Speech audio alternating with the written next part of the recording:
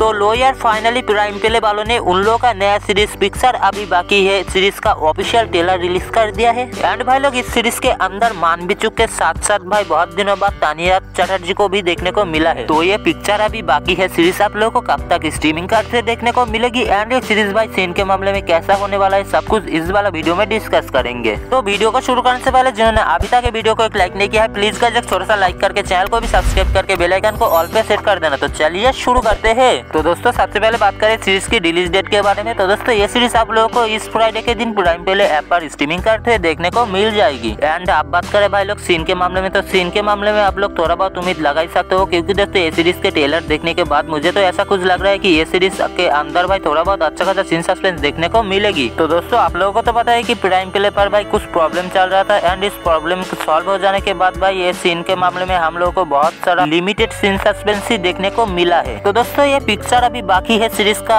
Official trailer जिन्होंने अभी तक नहीं देखा है, आप लोग देख सकते हो प्राइम प्ले की ऑफिशियल यूट्यूब चैनल पर जाके। तो दोस्तों, तानिया चटर्जी की सीरीज़ हम लोग को बहुत दिनों बाद देखने को मिलेगा। इसीलिए ही भाई, मैं तो काफ़ी ज़्यादा एक्साइटेड हूँ इस सीरीज़ को देखने के लिए एंड आप लोग कितना ज़्यादा एक्साइटेड ज़रूर इस वाला वीडियो के कमेंट बॉक्स में बताना। तो दोस्तों यही था छोटा सा इन्फॉर्मेशन वीडियो वीडियो अगर पसंद आए तो लाइक कर देना। तो दोस्तों, मिलते हैं कोई नेक्स्ट वीडियो में। तब तक के लिए take care tata and bye bye